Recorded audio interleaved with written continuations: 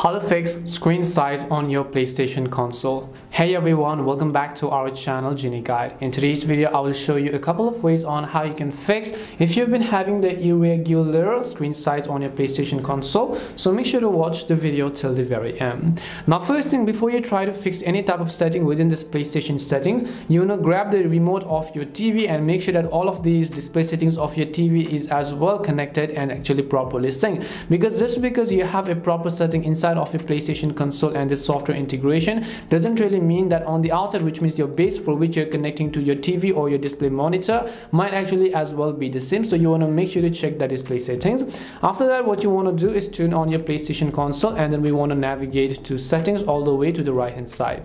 And once we go to settings here you'll find a bunch of various options. We want to go to the one that says sound and screen. And as you go to sound and screen you can find the very third option that says display area settings. So you just want to go to display area settings.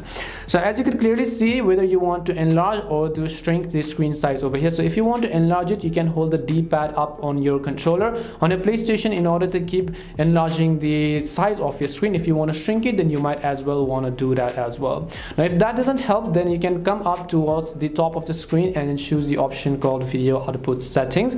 As you go to video output settings here you can see resolution. So you also want to identify the resolution that your tv supports so if your tv only supports 720 pixels. Placing a 1080 pixels inside of your playstation console will not help you solve your problem. It has to be ideal because all of the resolution and even though on the game that you set it to some other resolution and on your playstation console it set to some other output settings that could be another reason why you've been having the screen size issue. So make sure to choose the ideal size for yourself. For example here in this case you can see i've been choosing 1080 pixels. Now if you're playing some kind of game for example within the settings of that game as well you have to choose the resolution of 1080 pixels and not 7 720 or more the higher than 1080 pixels. So you want to make sure that it's set to the ideal one. You can see the RGB range. You can only change this if you use an HDMI device that does not send RGB range information correctly. I only recommend you set this to automatic as it is also recommended by the PlayStation company themselves. You don't want to set it to limited or full if you don't know what you're really doing. If you'd like to adjust the HDR as well as other HDR settings such as deep color output and so on you could do that respectively or you could also go to the video output information to view more information about your screen size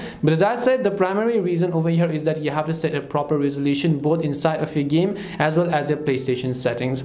Hope this video helped you. If it did help you then make sure to leave a like and subscribe to our channel. And if you've got any more questions then feel free to also leave them down. Thank you very much for watching and see you soon in our next video